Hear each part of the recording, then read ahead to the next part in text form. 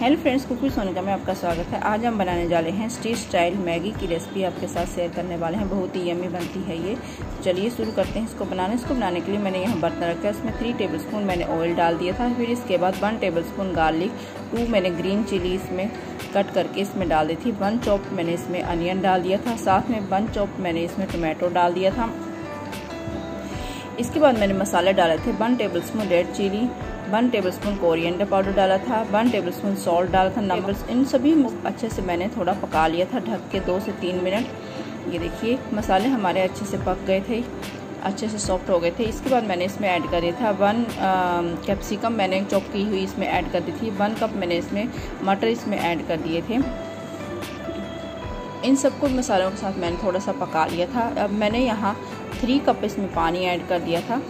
ये देखिए, पानी ऐड करने के बाद ढक के मैं इस, इसको थोड़ा उबाल आने तक पानी को मैंने पका लिया था। ये देखिए, एक उबाल हमारा आ गया था पानी में। अब इसमें मैं अपनी मैगी ऐड कर दूँगी। ये देखिए, इसमें मैंने मैगी ऐड कर दी थी।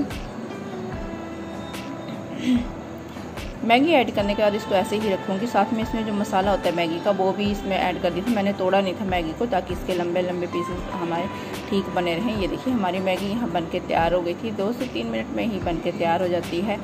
यमी यमी से हमारी masala Maggi street style masala Maggi बन के तैयार हो गई थी।